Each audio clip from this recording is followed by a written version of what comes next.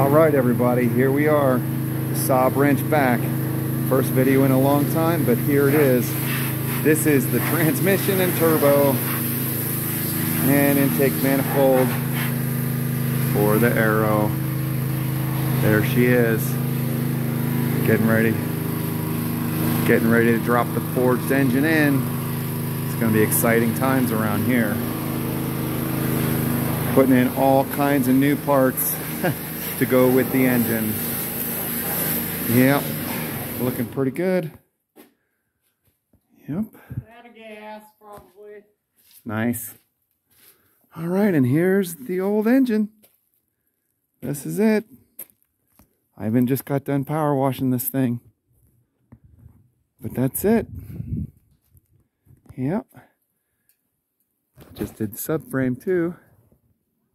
Nice and clean. All ready for new poly bushings. Oh yeah. Yep. He's so beautiful. And there he is.